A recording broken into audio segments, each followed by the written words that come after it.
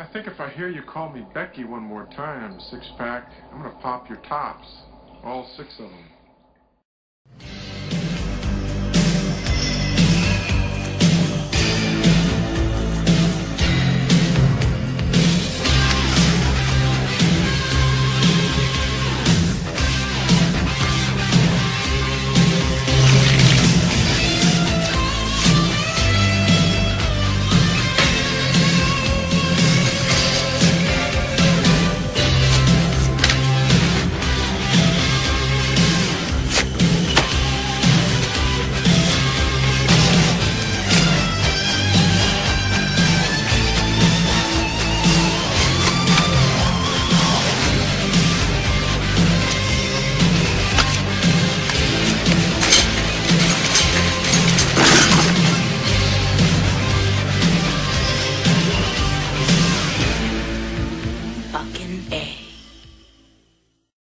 This is Matt once again, and this time I'm coming at you with a very badass film with starring Arnold Schwarzenegger and directed by Chuck Russell, and that is the 1996, I want to make sure, this was 96, right? Yeah, it was.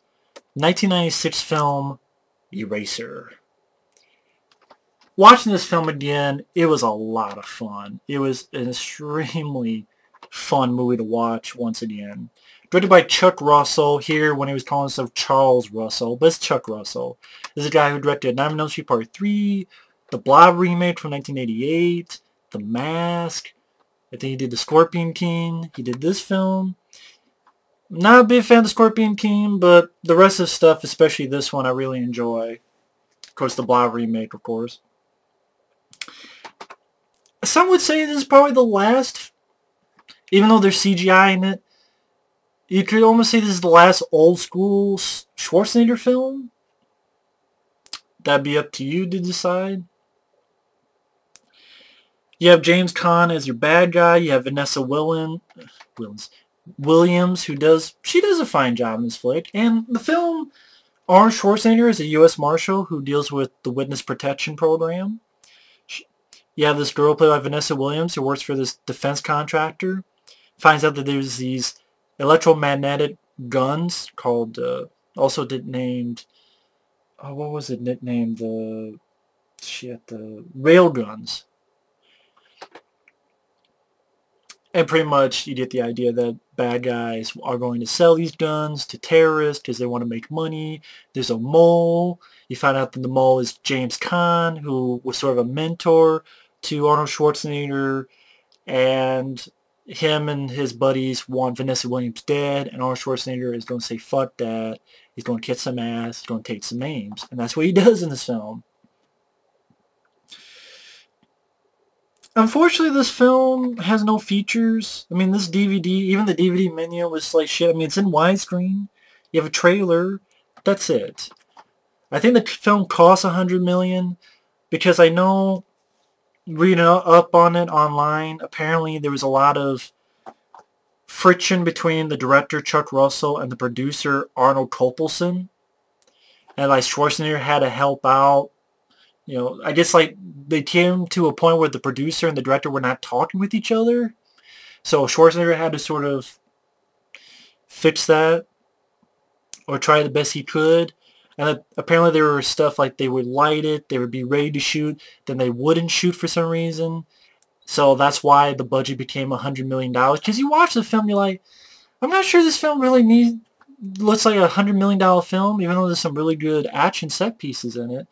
But it's because they would light things and be ready and maybe do some rewriting, and then they wouldn't shoot that day. And again, it'd be nice to hear why. It'd be nice to hear what was going on. Did the producer Arnold Kopelson and the director Chuck Russell want two different movies? Was it a tone? What was it? But and the film I think broke even in the U.S. but made around 240 million worldwide. $100 million budget, 240 million worldwide, around 40 to 50 million rentals. So it had to have made some money, but probably Guess it wasn't as much as maybe they thought it would. I don't know. But I will say, this is a very fun, very entertaining, funny, Uh, Schwarzenegger is a badass in this flick. I mean, the opening where sure, sort of showing what this guy can do, and yeah, this actor played by Robert Pastorelli, who's a witness who's being beaten the shit out of. And this guy does a really good job, Robert Pastorelli. I really liked him in this film. He was a lot of fun. He's an Italian guy. And these guys are trying to kill him, and his woman and Arnold fucks these guys up. He fucks these guys up. He breaks their necks. He kicks some ass. Takes some names. Gets some buys that he stole from the board. Close your eyes. You're dead. And it really shows that how he works. He works alone. He knows what he's doing. He makes it seem like that they are dead, fakes their death, gets rid of the, the bad guys' bodies, or puts them so that, well, he kill you, and then they turn on each other. And Robert Pastorelli's like, ah, the bastards, or something like that. And I don't mind Alan Silvestri's score. It's definitely not as good as Alan Silvestri's score and Delta Force or Predator, but I thought it was decent. I, I liked the theme, like dun dun dun dun dun da da da da da da da Da, da, da, da, which I think I remember hearing that bit of music in the trailer to Starship Troopers, actually. The music in this. So I didn't mind the score. It's not as classic as his others, but I thought it was decent.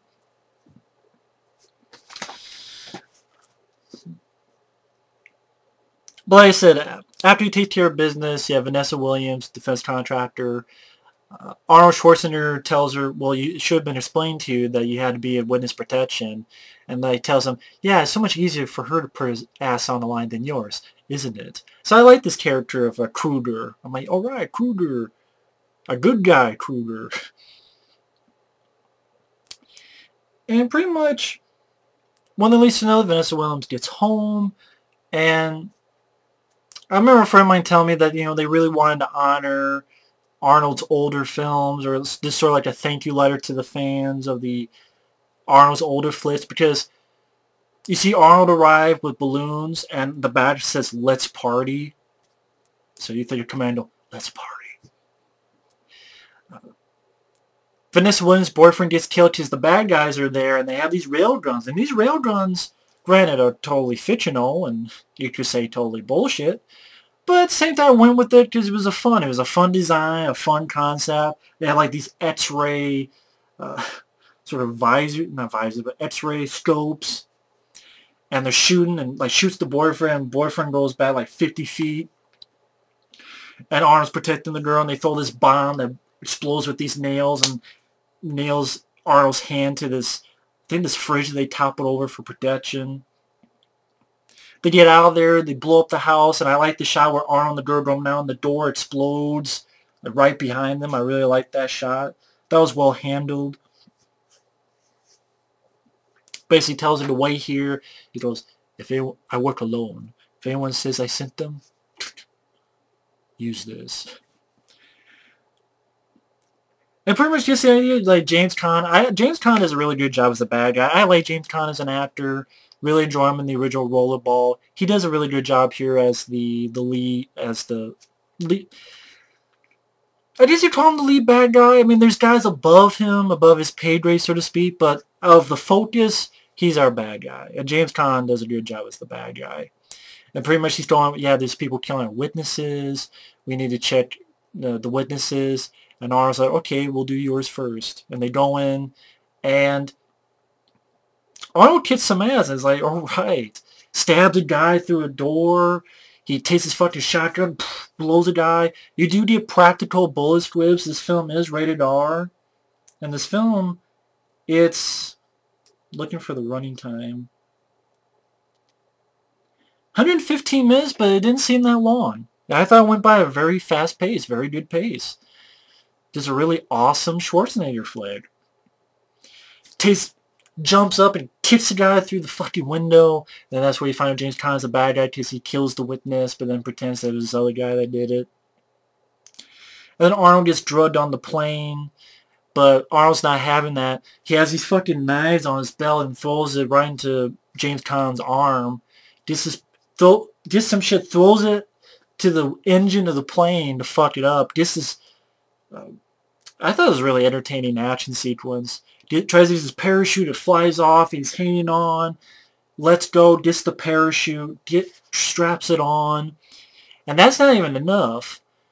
The bad guys turn the plane, and James Caan's like, I want his face plastered all over this window. Arnold takes his gun and shoots the fucking plane. Bah, bah, bah, bah, bah, bah, on the parachute, when he comes down, like crushes the top of the car. Very entertaining, fun action sequence. And these guys try to, these little kids try to make him pay 50 bucks for the, to use his truck. You know, I was like, 50 bucks? I thought, you know, some would say, ah, do you really need that comedy in that instance? But I thought it worked. It was a cute, I guess is the right word for it. But he goes off to, um, just, to the zoo, that's right. The reason I'm pausing is there's a scene coming up where Vanessa Williams, when she gets the signal, she's supposed to meet Arnold at the zoo, this public zoo in, I believe, New York. Could be wrong. And well, at least another, I like this bit. You actually have Mark Rolston, who's Drake. Drake, we are leaving. You know, Drake from Aliens. You know, who was friends with Vasquez and got the acid burn on. Mark Rolston, who has this star. Uh, Vanessa Williams, I thought she did a good job in this. I thought she was natural. She wasn't annoying. She had a little bit of toughness to her. And she's like, she remembers that Arnold said he, that Arnold works alone. So, so she goes, oh, you must know the secret handshake. He's like, what? Oh, yeah. And then fucking shoots Mark Rolston in the leg and runs off. I'm like, oh, very smart. Goes to reptiles. And like I was saying before, I was trying to remember, are those crocodiles or alligators? And that's something like, are those crocodiles? I can't tell the difference between a crocodile and alligator. I'll be flat out honest with you. So I don't know if they're crocodiles or alligators. Hell, even online I looked. Some people say crocodiles, some people say alligators. So what the fuck? All I know is some bad CGI. Those are those are some bad CGI. I get. Is I know it's 1996. Still really bad CGI. But Arnold gets in, shoots some bad guys. She's like, "You're late. Traffic." And he lets loose the, the gator's crotch, however you want to call it. And I forgot that one of them actually rips the bad guy's arm off. oh shit, I forgot that. But yeah, some really bad CGI, and Arnold shoots the CGI thing and your luggage. Again, it is some bad CGI, but still a, a fun, over-the-top action sequence. I had fun with the scene. Uh, basically, they escape, they hold out, they realize they need some help because they had, when Vanessa Williams, she was working with the FBI to help them, and she got this disc, and she made a copy of the disc. They need to run it to get proof, and they need to run it inside the building that's very fortified, place that James Caan's going to be waiting for them. And so they get the help of the guy that Arnold helped at the beginning, Robert Pastorelli. And this guy, again, he's a lot of fun. Arnold put him in this the best way to put it, a gay bar. And he's like, were you the guy who decided to put me here? And Arnold's like, you're alive. He's like, yeah, by the way, don't tell these guys that uh, I'm straight. I don't want to break some hearts. but Robert Pastorelli, he does, he's a very fun, very fun guy. I'm going to look up what else this guy's been in. I think, unfortunately, the guy has passed away, which is too bad. But I want to make sure. Robert Pastorelli. He was the he was in striking distance for with uh, Bruce Willis. He was the painter on Murphy Brown. Yeah, 2004 he passed away, which is too bad. He was only 49 years old. It's too bad. But yeah, this guy was in Sister Act 2. He has Striking Distance. He was in Michael with, I think that's one with John Travolta. He was in Heist. He was in Bait. He was in Be Cool. So yeah, it was it's really sad. That's too bad. I really liked him in this film. basically like gives him this Alka Seltzer, and like he looks at this and goes, "What? I look like I got gas or something?" Then you find out what it is. Is he's going he's going to send Robert Pastorelli in as a pizza delivery guy. When they ruffle him up, he's going to pretend to have a heart attack, so he puts the Alka-Seltzer and he's like foaming at the mouth. And they get him in, and like he's playing with this thing that he's not supposed to, and he accidentally unplugs it, so they think he's dying. They shock him. He's like, no, no, wait. And then Arnold and Vanessa Williams go in, pretend to be ambulance workers, paramedics, I should say. And they stop that, him from being shot again. And they go in, they get the info, they try to escape. Vanessa Williams gets taken. He needs more help from Robert Pastorelli, or more like Robert Pastorelli goes, no, you need my help, man. Uh, my cousin works at these docks that just, they find out there's going to be shipment of these rail guns at these docks. And Robert Pastorelli's like, hey, I got some room. Not some room. I got some, help with my cousin. He runs the docks over there. And I like the Robert Pastorelli's friends. Uh, definitely Italian guys. You see that these guys will fit well in a in any kind of mob movie. I swear I've seen some of these guys and like what was that one? Analyze this, analyze that, stuff like that. But I thought they did a good job with it. I really do. And Arnold is a complete badass when he gets here because he gets in. They're using these rail guns. He's diving with his shotgun. He gets stabbed like a like a wood shrapnel in his leg, and he tears it out and jams it into a guy's gut. Gets underneath, shoots the shit with both guns, jumps out, grabs both rail guns, and I love that music.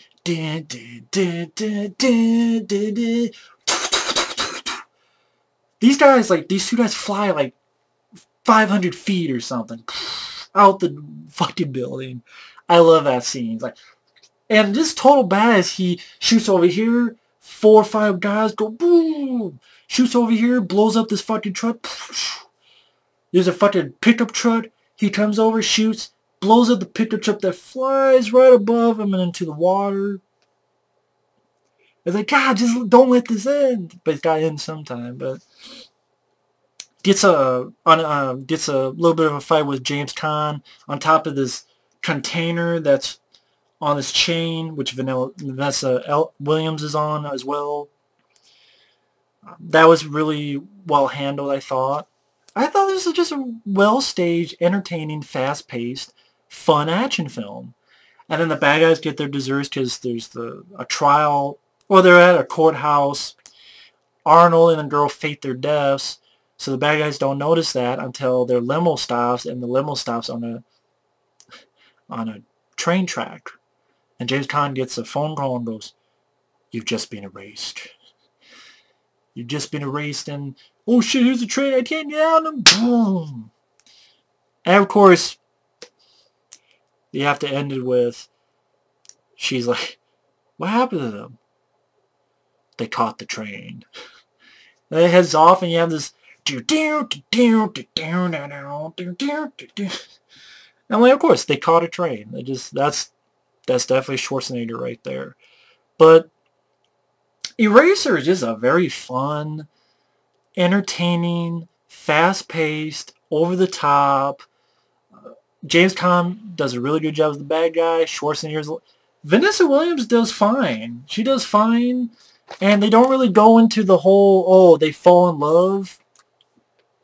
At least if they did, I didn't notice it, which I'm fine with. You didn't have to go that route. Because it doesn't make sense. Just a witness that he's protecting, which works. The action scene on the docks is entertaining seeing Arnold use those fucking rail guns. It is R-rated, so when people get shot, you have practical bullet squibs, and a guy's arm gets torn off by the whether alligator, crocodile, whatever, the CGI theme. You see, like, maybe teeny bits of practical, but I'm like, you know, you do see some bad CGI. That's, like, the one thing I'm like, eh. That's one little, that's one, I don't know if you call it nitpick, I'll give is that scene. But Robert Pastorelli, really enjoyed him. He wasn't annoying. Sometimes you get those characters in. I guess you'd call the comic relief. And they could be annoying. This was the total opposite. He was a lot of fun. And it was I was never bored. It was very entertaining. Very fun film. Very solid Schwarzenegger film. Definitely, I think I did put this in my top 10 favorite Schwarzenegger flicks, and it deserves it. It's a film no one really talks about. Not many people talk about Eraser, which is a shame. And the DVD doesn't have jack shit. I mean, I don't mind the sixth day, but come on. If you don't give that movie features, give Eraser some fucking features. And I did. I don't mind the sixth day, but Eraser is a hell lot better. Give this some features, Warner Brothers. But you're typical of that. You know, just like that. well, that, that has a commentary. Unfortunately, it's pretty boring commentary, but goddamn, do something for Eraser. It's a very, it's a kick-ass action flick. Hell of a lot of fun. That's really my summation of Eraser. Very fucking fun. So either way, thanks for watching. Take care. Fun fucking movie. And we'll talk to you later. Bye-bye.